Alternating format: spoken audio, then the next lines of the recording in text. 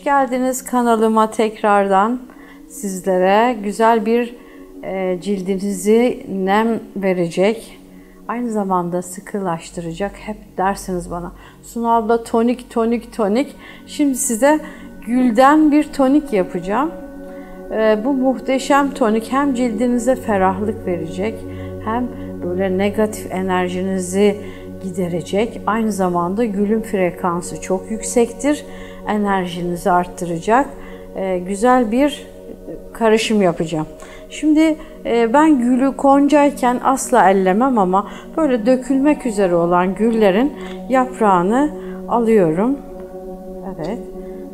Şöyle koyuyorum bir havanın içerisine. Evet, böyle. Tekrar suya koyalım. Kendi gül dalında güzeldir derler ya. Evet şimdi yarım limon suyu koyup şu şekilde Evet. Limonu sıktıktan sonra şöyle dövüyorum.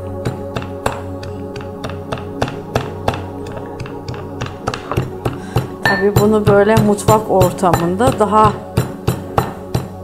kolay dövülebilen Evet, şimdi bir tarçın koymam gerekiyor. Yalnız tarçın aromasını vermesi için tarçını biraz şöyle açmam lazım. Şöyle açtım, koydum. Tarçını da koydum içerisine. Şimdi bakın. Şahane bir gülü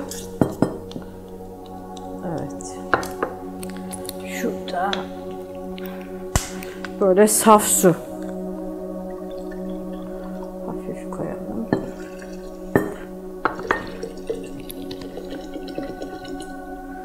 Nasıl görüntüsü? Şahane oldu.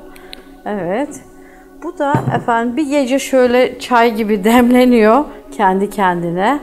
Ertesi günü mis gibi gül e, kokularıyla e, pamuğunuzu batırıp yüzünüzü sildiğiniz zaman parkını göreceksiniz.